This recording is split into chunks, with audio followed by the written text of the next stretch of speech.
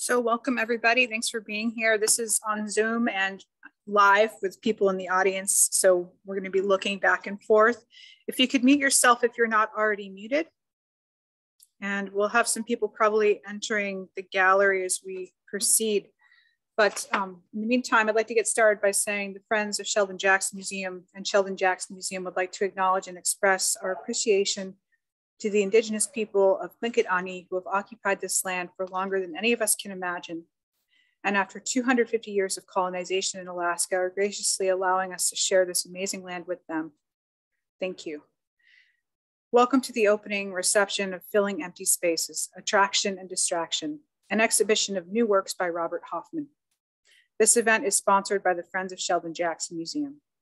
Please join us for light refreshments in the temporary exhibition area and take in the beautiful artwork after Robert's talk. Robert will also be presenting via PowerPoint images of the works in the show. So if you're not here physically, you still get to see them. Robert Davis Hoffmann is originally from Kake. He is primarily a wood carver and painter, but has worked in multimedia sculpture and has recently been experimenting with casting.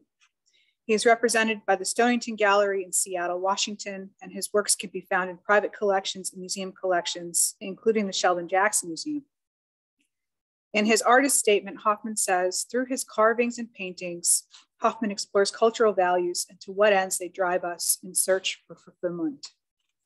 In addition to being a visual artist, Hoffmann is an accomplished poet. His published works include Soul Catcher, Village Boy, Poems of Cultural Identity, and his most recent book of poetry, Raven's Echo, just published by the prestigious Arizona Press, Sun Tracks edition. Hoffmann has also illustrated both books in the Raven House Mouse book series written by Jan Steinbright, who's in the audience. Robert Hoffmann is one of three artists selected for the Sheldon Jackson Museum 2020 to 2023 Solo Artist Exhibition Series.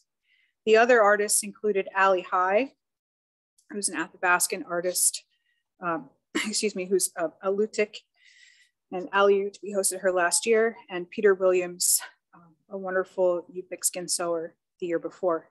The proposer for the exhibition was selected by a panel from over a dozen applications. Filling empty spaces will be on exhibit at the Sheldon Jackson Museum until April 22nd, 2023. And images in the show will also be posted on the Alaska State Museum website and an online publications section and a recording of this talk will be uploaded to the Friends of Sheldon Jackson Museum's YouTube channel, where there's already a host of other wonderful talks.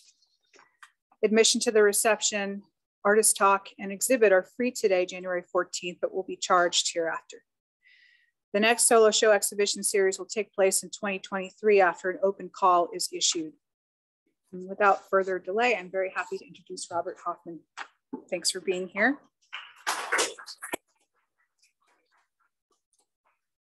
You, Jackie. Thanks for everybody for coming and uh, for both audiences. I'll try to uh, make it a habit to um, address both audiences. Um, my voice is kind of weird today. I get I get really uh, thin voiced when I get nervous. and I don't know why I'm nervous.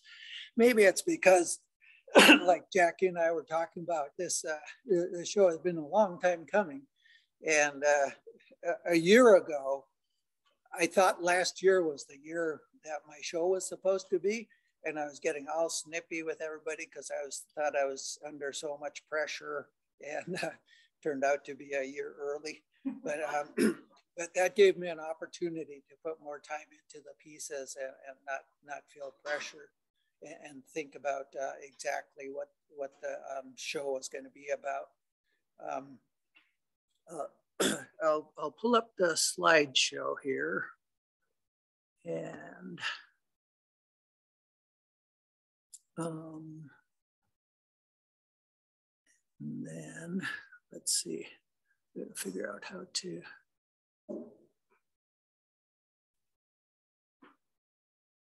zoom so they see it. And then share screen.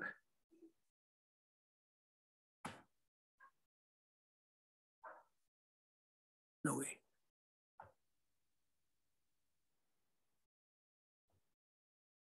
There we go. I also don't want to show the next slide here.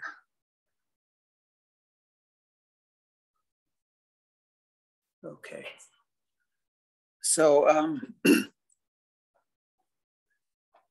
the idea, I'm actually going to read this because I, I, wrote quite a bit here that I didn't want to forget. the idea for this exhibition came from my own struggle with identity. Um, and it led me to question things by uh, when we're when we're searching for identity or meaning, uh, trying to figure out those uh, bigger questions in life. Um, we tend to become attracted to things, and, and some of those things are actually uh, misguiding. Um, and so these are all about my own life lessons, but I wanted to put a show together that uh, that I could illustrate in our traditional uh, in our traditional art style, but that would address larger themes that everyone can relate to not just a native audience. And uh, I've always, um, I, I, the, the idea for this exhibition came from uh, me struggling with identity because of growing up half native. You wouldn't believe the amount of pain that caused me and the conflicts, uh, the struggles. And it, uh, it led me to um, ask myself questions like what is nativeness? And is blood quantum a factor in, in my nativeness? What is culture? Uh, what do I use as a guide for living? And, and uh, so many questions arose that um, I, I, used this exhibition uh, as a vehicle to, uh, to provide answers that I arrived at. And um, my constant seeking uh, a solution to my discomfort made me feel like something was missing. And that's where I get the uh, title for this show, Filling Empty Spaces. I began to look at what I pursue in life and how it fits into filling something missing. And we're, we're all enculturated to the beliefs we hold, to the values, and, um, and our own pursuits. This comes out of our enculturation. And I realized that these things are intertwined our beliefs, our values, and pursuits. And we grow up in a capitalistic society so we value money, property, and prestige. And we're, uh, we're all compensating for something. And the, our motives are pretty revealing when we take a good look at them. So as I was making each one of these pieces, I made a list of the th different things that I struggled with and the different ways that I compensate or overcompensate for what I feel is lacking in me. So I use this show as a way to deconstruct myself and to look at what things I have misguidedly pursued. And those things turn out to be the, uh, the one wall with the picture frames. And the titles for those frames are credentials, wealth, status, religion, consumption, technology, and addiction, all the things that I have tried to fill myself with over time. Um, a little bit about me. Um, I already mentioned I'm half Native. Both my parents were teachers. My mother was white. Uh, she was a teacher from Michigan. My father was full-blooded Tlingit from Kake. And uh, we traveled back and forth. And uh, that, what better way to feel like an outsider than to be half native in a white society or half native in a Tlingit village. And so it, these, these things just kept um, building up in me. And, and uh, when, when I was told that I wasn't native. You know, kids can be cruel. a lot of times I was told I wasn't a real Indian. And, and so those, those uh, things stuck with me and sent me on this search. Uh, so my uh, my art career uh, started when I was in fourth grade. I, I used to I used to love to watch my father carve model totems, which he learned here at uh, Sheldon Jackson High School, and uh, I I wanted to be like that. I wanted to uh, learn things that I saw him doing, and I saw that it uh, it seemed to bring him joy, and and so when I started practicing these things, it seemed to bring him joy, and and and that pleased me. um, so so I continued doing those things because it helped me feel like I was doing something that uh, that emphasized my nativeness. So I got uh, I started heading down the road uh, as a as a native artist early on. This exhibition, I, I, told you about uh, the ideas behind it. Um, it's uh, I, I wanted to explore our cultural values and how it's our values that drive us in, in our search for fulfillment. And, uh, you know, we all get our values from, uh, from being enculturated from, from the homes we grew up in, the schools we attend, uh, the societies we live in. And uh, I, I, really wanted this show to be not just about emptiness and its counterpart, fulfillingness, uh, but but I wanted, but I wanted uh, to examine cultural values, things that are important, things that shape us, so there's there's two um, two walls out in the gallery, and one wall is a series of picture frames. All the picture frames have nothing in them.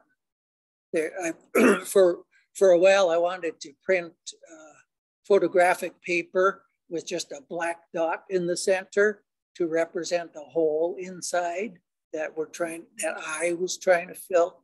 But then I, I thought, uh, I, I, looked at uh, the, the frames after we uh, started hanging them, and I thought these, these should be empty because it's more literal. And uh, so the frames, each frame represents a different kind of emptiness. I got the idea for carving picture frames. Over 10 years ago, there were some tourists who uh, were they said they searched all over Alaska for carved picture frames and asked me if I would do that for them. Their last name happened to be Crane, C R E A N.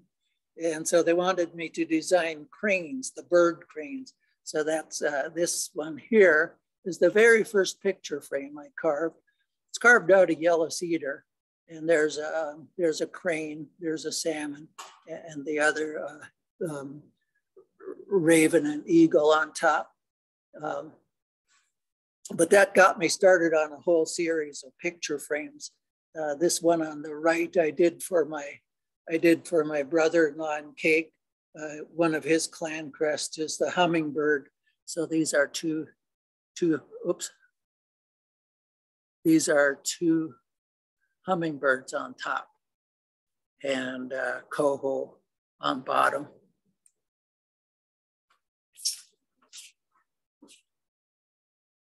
So the first picture frame in the series is about credentials.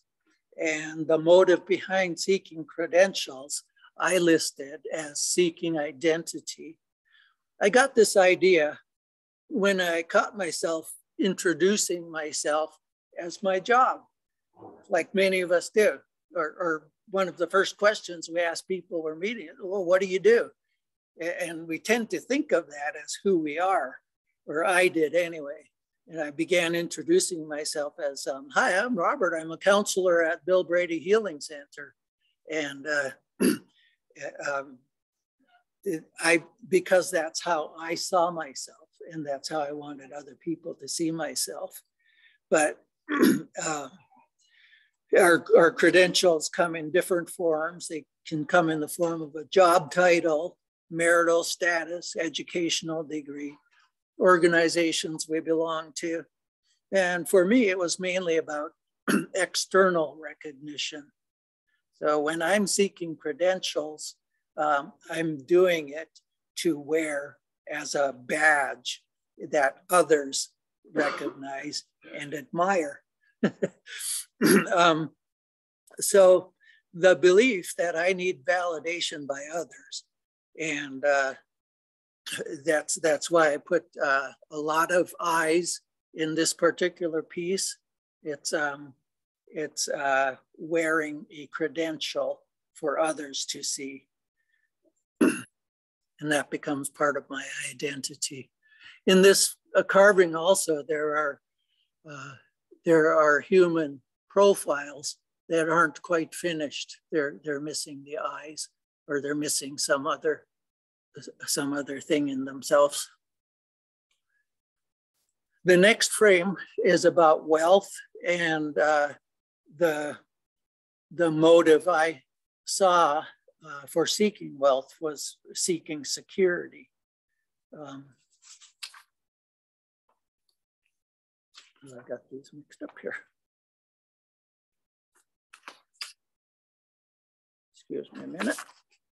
The uh, the the carving represents a um, a um, a carved chest, like you see many of these bentwood chests up here.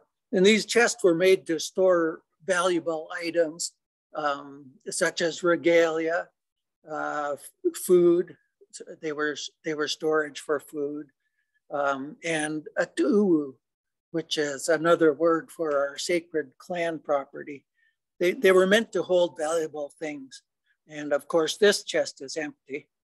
Um, I, while I was carving it, I, remembered uh, when I think of wealth, I like to think of opposites also. And, and when I was carving it, it reminded me of a question I got from a tourist who was visiting this museum where I used to work in visitor services. And she asked me if the people in the impoverished villages were miserable. And she said she read that uh, poverty was uh, a real problem in Alaska villages. And my response was um, money doesn't always make people happy and, and they're able to live subsistence lifestyles. And in the small villages, they're probably living more traditionally, and that uh, brings a person a feeling of fulfillingness. And uh, so I, th- I, thought of that story while I was carving this. Um, and, and it, so that made me question what is true wealth? What does wealth mean to us? in a capitalist society, we're taught that our lives are about making money and climbing the ladder and having plenty. And that plentiness never seems to be enough.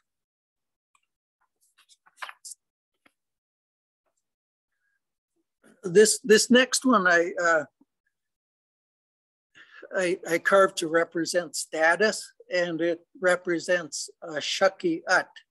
Um, if you, for those of you who don't know what that is, they're these um, these um, I, don't want to call it a hat. They, you wear them on your head, and they have ermines flowing down the back, and uh, and they have uh, walrus whiskers coming out the top.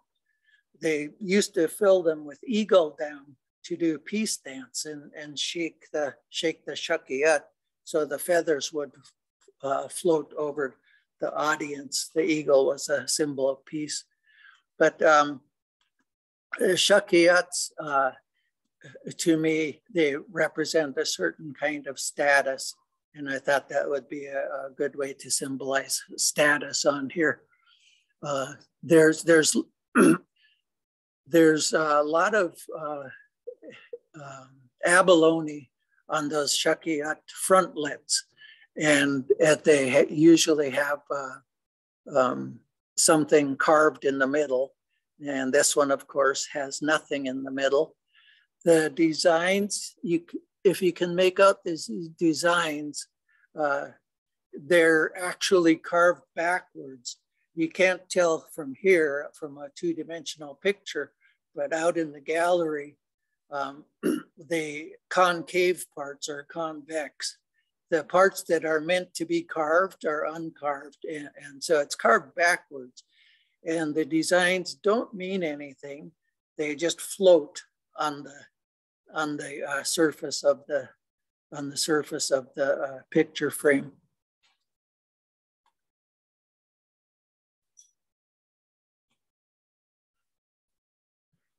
The, the next one is uh, represents um, a search for uh, for an attraction to religion in a search for purpose. So, because um, because when I write about uh, religious um, priests or, or whatever coming to Alaska to uh, change our native ways. In my poems, I always refer to them as men in black. and, and so uh, I, I decided to use a black, uh, black stain on this one. This figure on the top, his eyes are closed as if he's sleeping.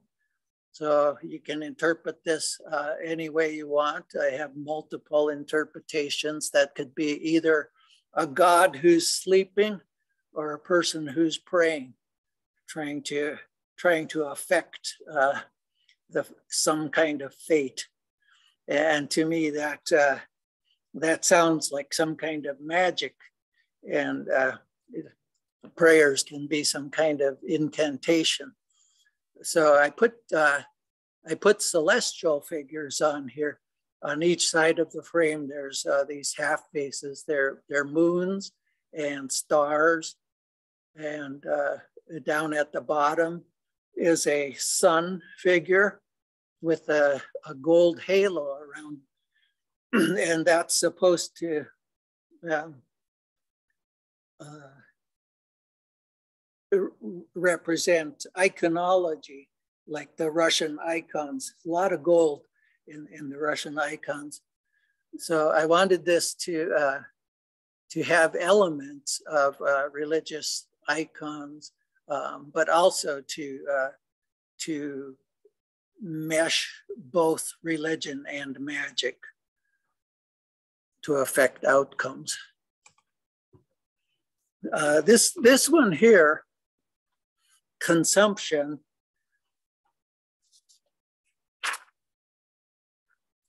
uh, originally I was going to have a string of red beads hanging down from the hand and feeding the mouth. And that would be uh, perpetually feeding itself, always putting something, always consuming something. And then the hand on the right is uh, meant to be taking something. So always consuming, always taking, consume, take, consume, take. And uh, we, we seem to live that way in a society where we think uh, there's so much abundance. Um, and uh, the, uh, the color I chose for this, uh, there's an odd story behind that. the uh, gorging ourselves with food is one form of consumption and made me think of the Roman vomitariums. So I chose a vile color. and uh, but there's many many kinds of uh, consumption we consume to excess uh, television and media, uh, food, fossil fuels, alcohol and drugs. And uh, so the question I ended up asking myself after after I carved each one of these is uh, is why? Why do I do that? So this is really an examination of motives, and uh, it really comes down to values. Uh, so for me, it was more like values clarification. I didn't even have to pay tuition. um, technology. When I think of technology, I think of high tech. And uh, there's technology is a real broad word. Like we use that word in this museum a lot when we're talking about the technology of uh, people, or we have tool technology um, and, uh, and various other technologies. But it, I'm addressing our 21st uh, century high tech. And it, it's our it's our new means of communication. We, we text, we do social media, uh, teleconference, and it's become important to have friends on Facebook, and uh, and it feels like connection. But that's the that's the catch. It feels like connection. But to me, uh, technology is really creating disconnection. I, I think uh, when we settle for technology, we're we're settling for a uh, a uh, image of the world instead of in, instead of uh, being in the world. And so this uh, the designs on this frame are represent our senses, and they're all disconnected from each other. So here's our sense of taste, uh, hearing, smell, and uh, and these uh, abalone at the bottom actually represent ones and zeros, uh, the ones and zeros in programming.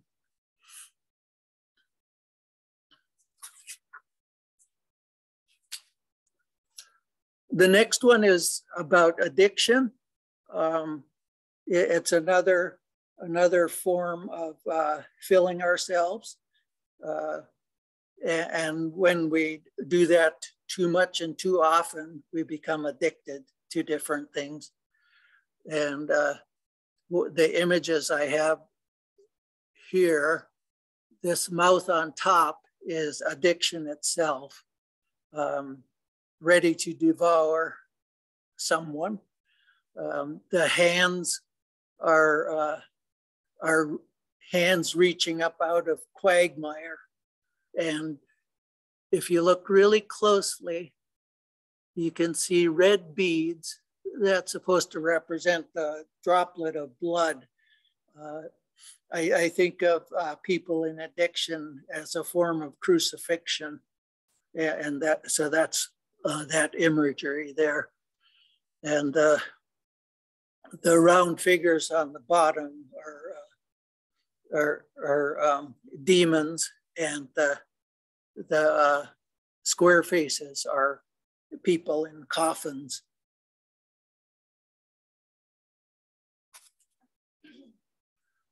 Now the paintings are, tell a, a reverse story. The, the carvings tell about emptiness. And you notice that uh, as I examined each one of those things, the different kinds of emptiness have almost all have to do with uh, physical, the, something physical, the external. And the paintings, as I go through the paintings, it's more about fulfillingness, and that's all internal. Um, so I had uh, I had some influences before I started painting. Uh, I, Jim Schoppert has always been a hero of mine, and uh, early on, I was really afraid to branch out and uh, experiment with my own styles. And uh, and Jim Schoppert came to a class uh, when I was taking an art class uh, at Sheldon Jackson College. He came into Linda Larson's class as a, a guest speaker, and uh, he was watching me painstakingly do my my uh, my hard edge form line. It has to be just perfect. And he grabbed my arm and he started making me paint these wild things. And he said, loosen up. And, uh, you know, that just made me really conscious of how deliberate I, I was forcing myself to be and, and how locked into a style I was. So that did, that was a turning point for me. Um, it helped me uh, uh, feel okay about practicing things that all my life I just considered doodling. I've always been doing the kind of really wild artwork that you see out there, but I just didn't. Uh, I just didn't do them as something that I thought should be in public. But these artists uh, uh, affected me. Oops, and uh, this next one is uh, Donnie Varnell. I'm a real fan of Donnie Varnell as well. He does these really wild. Uh, you can see you can see how this originates out from our old form line style. You can see um, suggestions of an ovoid here, a black ovoid, and these here are actually squared off uh, U shapes. But um, this was Donnie Varnell's first piece I ever saw. It's called Logic Board. And I thought, wow, people are doing cool things with our art and it just made me want to do that too. And then finally, um, for for a color scheme, I forgot to dig it out. There's a book, uh, a children's book that we keep here, and I don't know the illustrator's name, but uh, I, the uh, colors in here I was real impressed by, and, and the um, the ability to use uh, non-traditional colors and still have them come out so beautifully. I like that. I like those color schemes. So I started uh, purchasing some uh, colors that are not just our regular uh, black, uh, iron oxide, or, or the blue green color. And um, the the um, an, another another person who influenced me a lot was Norm Campbell, a local artist here. I don't know if you've folks have seen his work. If you haven't, uh, look in the the city library downtown and up along the ceiling of uh, and, almost an entire wall. He, he did this uh, really detailed pencil or pen and ink drawing. It's really cool. But I took a beginning drawing class from him a few years back and uh, and started uh, practicing shading, and uh, and from him I got the idea of of uh, developing designs more organically. In other words, uh, what he showed me, he said often when he doesn't start off with an idea, he'll just start sketching from a corner of his uh, of his paper, and and it becomes whatever it becomes. So as I worked on some of these paintings, I did the same thing. I, I always had the th a theme in my head, but I let the design shape itself. Um, this is a this this uh, drawing on the left is going to be a huge carving. Um, it, it's uh,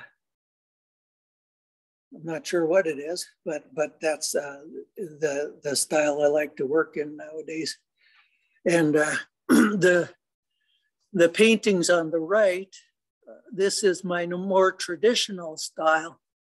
It's a raven on top. Uh, these these are actually the uh, the bird people, the sea people, and the land people, and then the painting below it is an interpretation of the one above using the style that I now feel uh, comfortable in. And uh, I, I designed both. I feel comfortable doing both our traditional and my own style. Um, this one here, I call it the spirit version of the other one.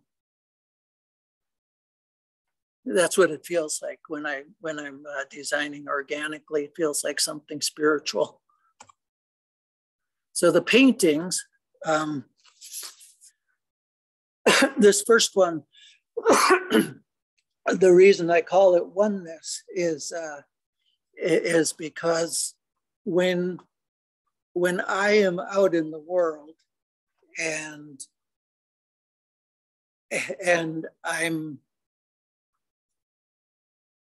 feeling complete. Uh, I feel like I'm not in nature.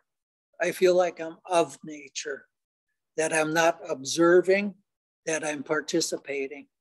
And uh, so all the images in this picture have to do with, uh, with all the different uh, peoples that are populating the earth, which is the sky people.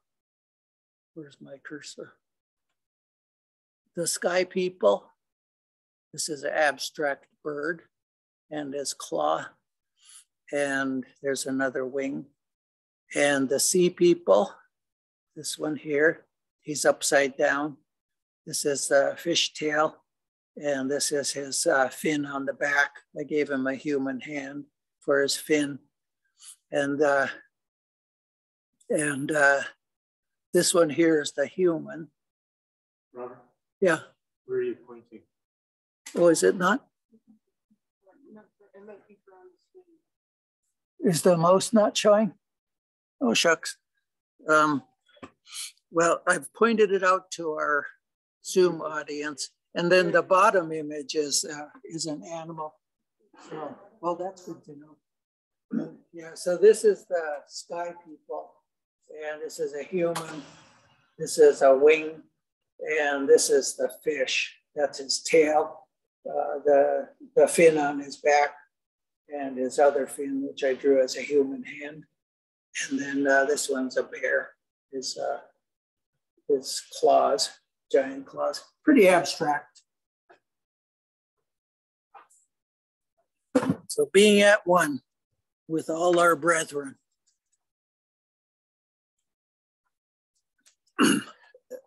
this one is called Everything. Uh, it's a pretty busy design. This is one of the ones that I started designing from the corner. Um, I was just going to use my mouse again. Um, pardon? Oh, you did? There it is. No, I don't see it. Where in the heck is it? Huh.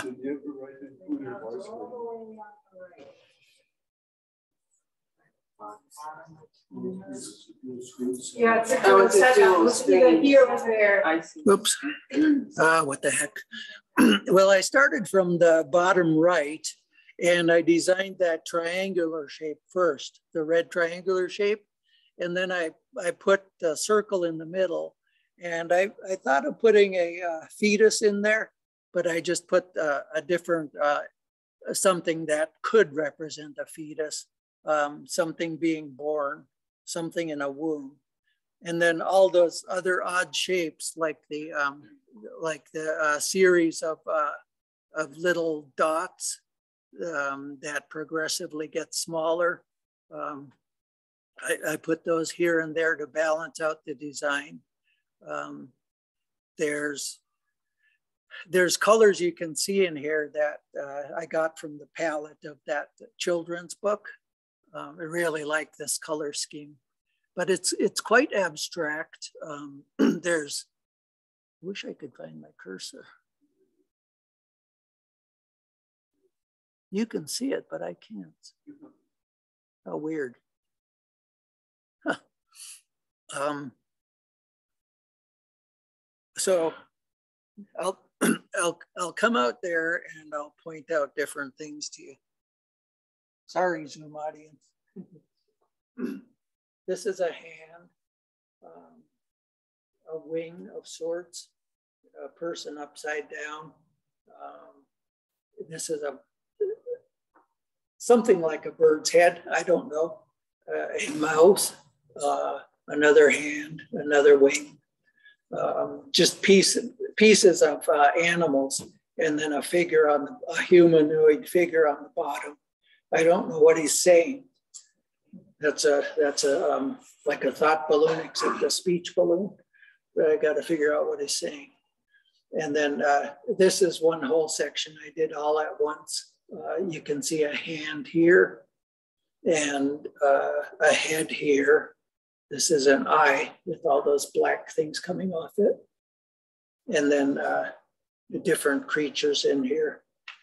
But uh, I don't know where the design came from.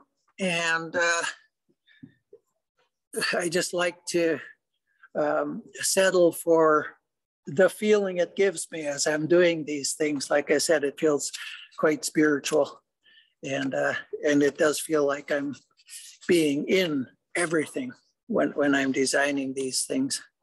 The, this uh, next to last one is is uh, spirit. I just learned how to do gold foil this year, so I, I I, uh, this piece, I started off with the circles in the center and they're, uh, they're offset from each other a little bit to, uh, to give uh, some sort of tension. And then the, the three abalones and the gold circle, uh, again, that's supposed to represent something celestial, um, something universe to do with the universe. And then all the rest of it, um, is one one being. It's uh, I don't know what it is. Um, the, these designs just come to me, but uh, but the idea of um, of just being is, is, embedded in this in this uh, design.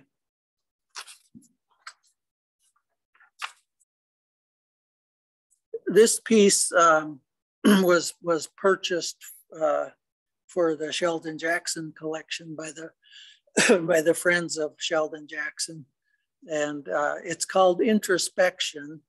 It's it, has got that long yellow streak uh, going across the design, and it cuts into another blue shape. And again, I, I really like designing um, uh, creatures or humanoid figures in a womb and so that's supposed to be a, a person who's entered a womb. And, uh, and that's what I think of when, when, I think about introspection. It's a place to go, um, and, and it's a place that, uh, that suddenly feels very, very, um, oh, it, it, it feels like a puzzle that that uh, that we go inward to start to put a puzzle together. So this really busy, this really busy um, design is like putting a puzzle together. it doesn't the the the individual pieces don't represent anything specific. They're mostly um, mostly uh, design contortions. I, I, like to take our design forms and uh, and put them in, together in ways where there's a lot of ambiguity and and they're uh, quite abstract. So a lot of these shapes, as you the longer you look at it, the more you start to see creatures or body parts. And just when you start to think you see a that it's representing something, you realize that it doesn't.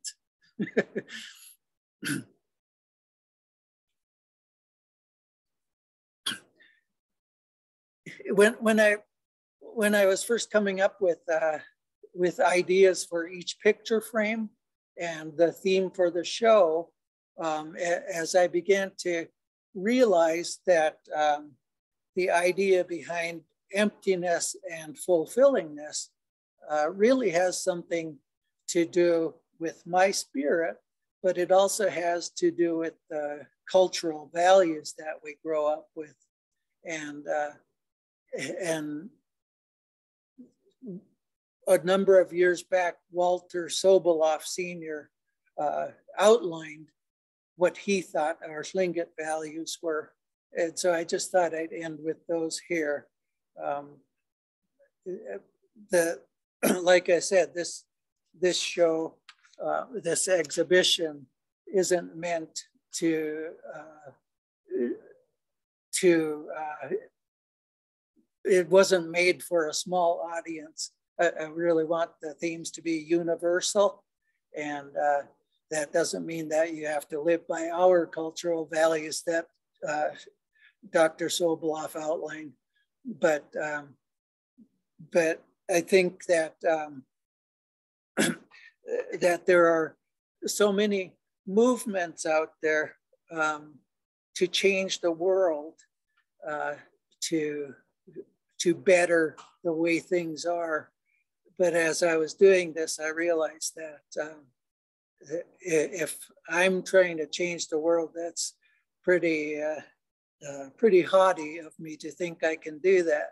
And the best change for me to look at is uh, how to change myself for the better. So I hope you find meaning in this in this show, in the pieces, um, and find things you can relate to. And uh, I do want to thank you all for being here today, and uh, thank the I want to thank Jackie for uh, all the work she does here in, in uh, putting the programs together and the staff for helping set up and, and uh, the, the friends of Sheldon Jackson.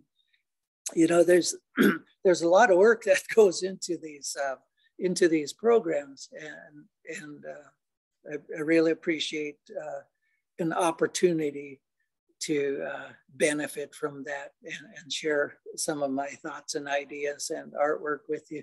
Thank you.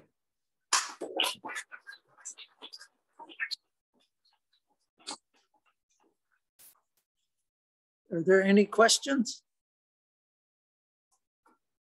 Can you read those values out? They're kind of small. To, I can. yeah, the top one says respect, for self and others, including elders. Remember our native traditions, our families, sharing, loyalty, pride, and loving children. Responsibility, truth, and use and wise use of words. Oops. Uh, care of subsistence areas, care of property, reverence, we have one great word in our culture, Hashagania. This was a great spirit above us. And today we have translated that reverence to God, he said, Walter Soboleff. A sense of humility, care of human body, dignity. And the word for dignity is yangadunik. Are there more below that? That's it, I think. Peace, peace. Peace is the last. Oh, okay. I can't see that yeah. on here. Oh, well. Are there any questions? I've got a question, Robert. You, you said that you you like to begin some of your sketching and drawing from the lower corner, just like you learned from, from Campbell do you ever proceed with your carvings that way, or is that a different process? Well, that's going to give me something interesting to try. I haven't done a carving that way yet, but, but now it's going to be lodged in as my next idea or your next idea. Thank you. Mm-hmm. I have another idea for a value, and that's growth because that's what I see here going from the traditional, and you said it yourself, very strictness to become a little looser, and then to really uh, go beyond those um, ancient tradition and, and basically liberate yourself and go free, free spirit. And I think it's very cool, like adopting those other colors and, and you use the term abstract a few times. And so there is definitely a path there. And I find it very inspiring, interesting. Thank you. Thank you. Any other questions from the audience?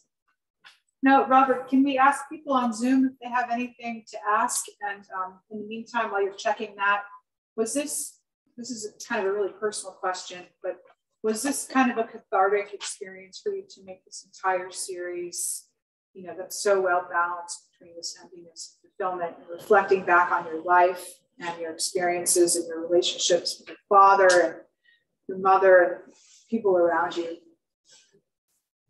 Well, um, it's actually a review of that cathartic process.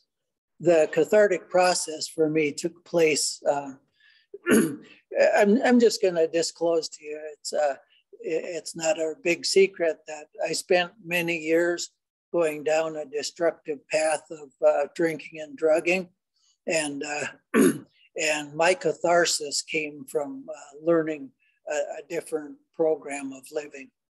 And that's what I think when, uh, you know, it's available to everyone. We can always examine ourselves and we can always um, examine our motives and, uh, and, look for a, a, more fulfilling way of living. Um, and like you were just saying, um, we're, we're not locked into, uh, we're not locked into the way things currently are. There, there's always opportunity for change. Um, and uh, you know, like uh, like when I thought I was locked into just doing our old classical form line, they call it. Um, I'm from a generation where uh, there weren't that many uh, native artists practicing the art. So um, when, when the art form was still being revived, there was real worry that uh, it should, it, the old classical form should be practiced and taught um, so it doesn't disappear. but no, there's so many artists who uh, understand classical art form so well, and they're branching out and doing all this experimental work. But that's uh, that's because art changes along with the times. we're, we're not locked into, uh, we're not stuck, is what I mean to say. and if you feel stuck, that could be a good thing. That's a, crux for change. I hope I don't sound pedantic or preachy either. These are life lessons that uh, that I just wanted to illustrate. Any last questions on Zoom or one more from the audience? I don't have a question, but I have a comment. Uh-huh. Um, and I'll say it and click it because that's what I'm practicing. Okay. Uh, Iyahaich, Iyajaneitza, Kawaetza, Ihaji, Picasso Yakati. Think it away, your work, your pictures, and even you remind me of Tlingit Picasso because you piece the different body parts, the hand, the head, the eyes, everywhere instead of a whole figure. Ah, I think it's amazing. Thank you. I'm not the only Picasso out there, but but it's but thank you. I appreciate that uh, those those observations. Uh, yeah, it's a it's a beautiful art form to uh, be involved in it's a beautiful life to be involved in. and um, I need to ask one of the staff to look at this because this, I can't find the cursor and this machine is going to try to restart. Oh yeah, let's see, let me exit out of this thing here. Well, well, it won't restart for six hours. So we might be okay. Okay, and so, then because yeah. I can't see the cursor, I can't uh, turn on or I can't ask uh, the Zoom audience if they have questions. Or should we just do it by chat? We could do it by chat and I can see if But there's but I anything. can't, but I don't see, oh, there it is. Could you, oh, yeah, there it is now. Interesting. Okay, so is there, we have one question on Zoom. Is the ovoid form the basis of Tlingit design? And does it have a meaning as the fount of design that it springs from? And the answer to that is uh, the ovoid is one of the elements that uh, that composes a, uh, a design in form. Um, I, I, recommend picking up Bill Holm's book. Uh, um, uh, Jan, do you know the title of it offhand? S something on analysis. Well, Northwest Coast Indian Art and Analysis of Form. It explains all these different uh, elements, design elements, and also there are a lot of uh, local classes um, uh, where you can where you can learn these uh, the basic elements of this art form. The the shapes themselves uh, don't have meaning. Um, where where the shapes derived from is all conjecture, but but uh, but it's um, it's evolved into a really a really sophisticated uh, kind of expression and it continues to evolve. Thank you for that question. Are there any other questions from the Zoom audience? You can, uh, if you have questions, you can type it in chat. It doesn't look like there are any other questions. So I want to thank everybody for coming today, uh, both audiences.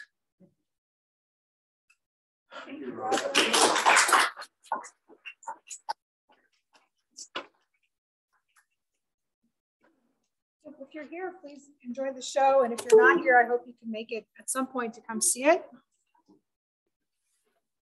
Thank you, everybody. Have a wonderful day. You're welcome, Mrs. Hoffmann.